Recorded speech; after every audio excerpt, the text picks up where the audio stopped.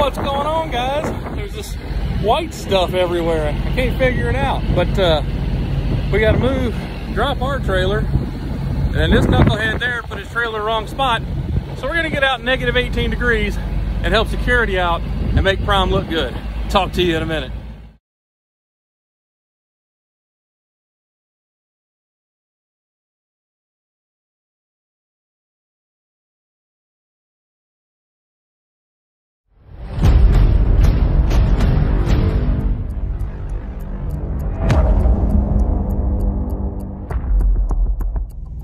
Little editor's note I gotta throw in here. Happy freaking New Year! Forgot to throw that in there. God bless. What is going on, guys? As you saw from the intro clip, I'm cold, but I'm good. So, to the new subscribers, welcome. Usual suspects, welcome back.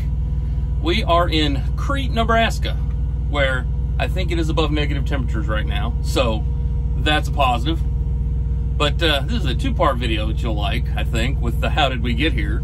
So, told you I had that load out of Dalhart with cheese. We ran that over to Carthage, Missouri, and it said you could arrive to your appointment 12 hours before your appointment time, and then had overnight parking. Like, well, get there, take a 10-hour break, and get unloaded, right?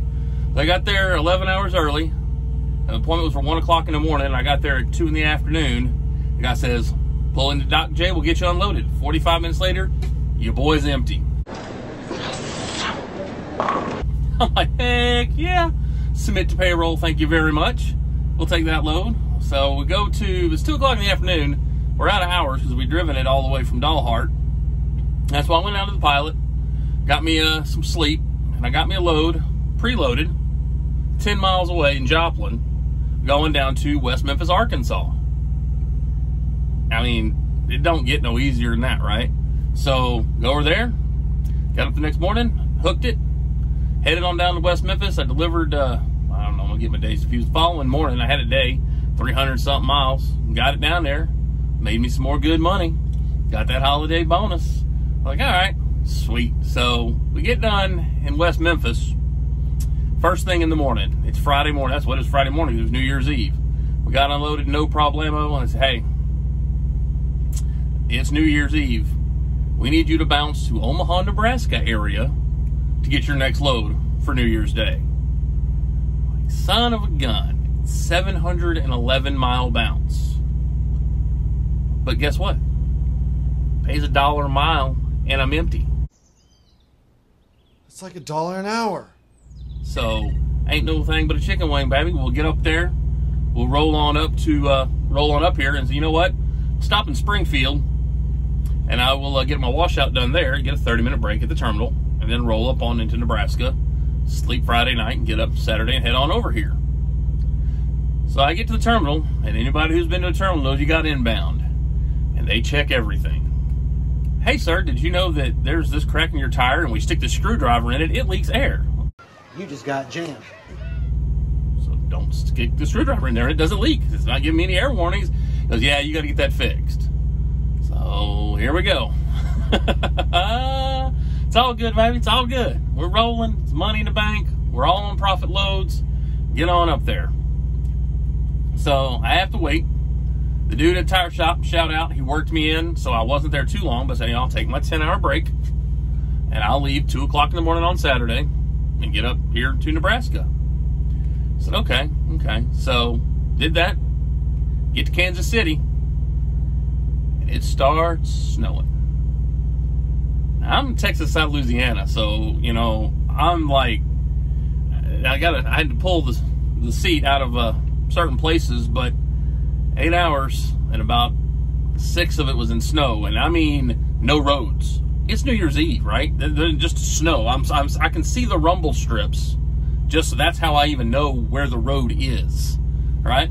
But I get up here and I get parked I go check in, and they say, "Oh, your load's not ready." Oh, and by the way, it's New Year's Day. They're not coming back to work till tomorrow. You just got jammed. What I also didn't tell you about this load is it's going to California.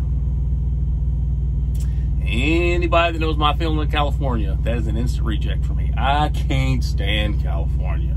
I, uh, anyway, personal reasons. But when they sent me the load,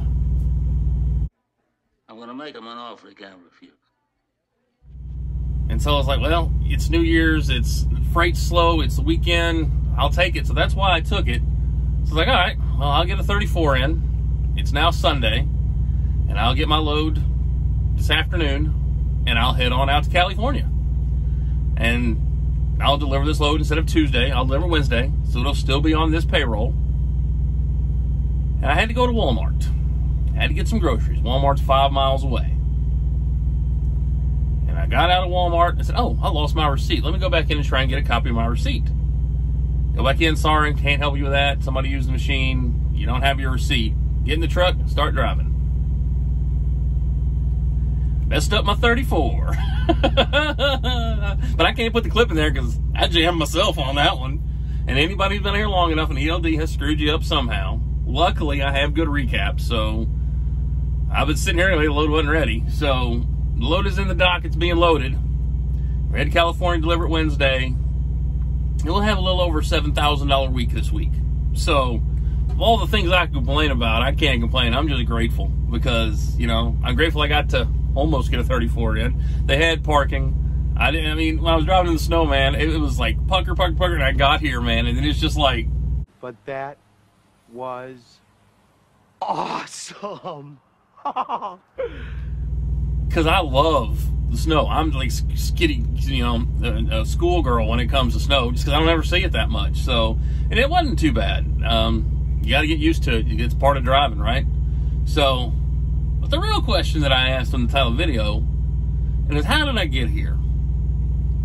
And I want all of you in your free time to say, how did I get here? Why am I here? Why am I out here? Because you know, when I had that load out of West Memphis and they said, hey, it's a 700 mile bounce to somewhere in Nebraska, and the only load we really got is going to California, and you look at all this, I had the option to go home. But the reason that I didn't go home, I'd have been home on New Year's Eve and spent New Year's with the family and got a load on Dallas out of Monday. But the reason I didn't go home is because I love my family. And while that's an oxymoron to a lot of people, it's because I know how I got here. But see, I'm a man of God. And then I, I try to say that everybody does their own thing. I try not to force into my videos. But believe it or not, this, I'm going to own my own truck fleet. I'm going to own my own truck. I'm going to run the freight I want. I didn't get here because of uh, because of a Christian, because being a man of God. Uh, I believe that I'm on the path that God wants me to be. But the reason that I got here was because I got frustrated.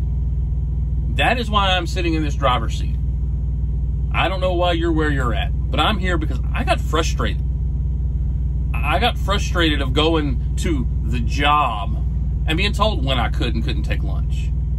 I got tired of, of going to the job and being told, "Oh no, you can't go go see your kids' uh, little award ceremony. This is work time. You have to be at work." I, I got I got t- frustrated. I just got I got so so sick of everybody telling me what I could and couldn't do when I know what God has for me and I know the plan that I have. And so the reason that I'm here is because I got frustrated. I got frustrated with watching people drive what I thought my wife should be driving. I got frustrated with my kids asking for things and going, well, let's see what next paycheck looks like. I wanted more. I got frustrated and I got so frustrated. My brother and I talk about this all the pain level, right? You may not like your job, but the pain isn't too bad because, you know, it's right down the road from you. You get off on weekends. You know, you, you don't, you're not frustrated enough so you don't change. I got to the point where I was so frustrated, I was like, this doesn't work anymore. So that's actually how I got here. Now, God's blessed me. I feel I'm on His path. I believe He made me frustrated so that I would get here. But I didn't get where I'm at with these plans because, oh, I just didn't have anything better to do. It wasn't some great epiphany that I had, like, oh, I wonder what I shall do with my life. It really wasn't like I got pissed off. That's how I got here. And so I'm sitting here in the freezing cold Nebraska having the time of my life because I'm not frustrated anymore. I get to determine, for the most part, where my truck goes. I get to determine the amount of money because I determine when I go home. I get to determine how long I stay home. I'm working towards even more freedom. But let me tell you, my frustration and where I'm trying to go ain't easy. This ain't the easy route. And let me tell you, I don't know many people. You may know some that work six figures, that make six figures, that work Monday from Friday, eight to four, with an hour lunch break, off on weekends, and never think about their job. I'm not talking about my life is going to get easier. Like I got frustrated and I'm on easy street. I got frustrated and get to get me where I'm trying to go. And hopefully, you get frustrated. But I'm hopefully, when you get frustrated, you can also quit. You know, oh, this just isn't worth it. I'm just, I'll just, I'll just go work for the man. Be the man. Don't work for the man. Because as I heard it said one time, you will spend your entire life making your dreams a reality. And if you don't do that, you will spend the rest of your life making someone else's dream a reality. I believe that was Les Brown, so I'll finish it off with this Les Brown quote. It ain't over until I win. And I'm saying to you, what if all of us took that attitude after we face a rejection and a no, or we have a meeting and no one shows up, or somebody say, you can count on me, and they don't come through? What if we have that kind of attitude? The car's repossessed. Nobody believes in you. You've lost again and again and again. The lights are cut off. But you're still looking at your dream, reviewing it every day, and say to yourself, it's not over until I win.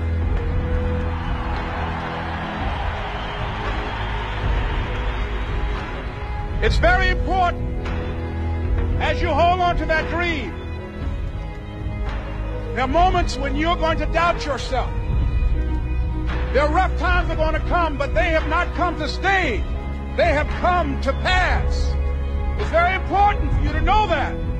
Don't say I'm having a bad day. Say I'm having a character building day.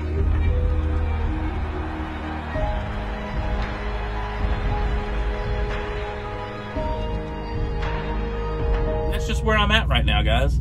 So I'm out here. I'm going to have a great week. I got to experience snow. I had some things happen. I had some good things happen, but I'm grateful. I'm just happy to be alive. Hey, there's a problem trailer. Wonder if that's mine. Huh, doubt it. But anyway, I'm going to end this video. Going to watch the Cowboys game. Roll out to California tonight. So, God bless. Let's get rolling, and uh, maybe I'll go order a 2023 Peterbilt. Who knows?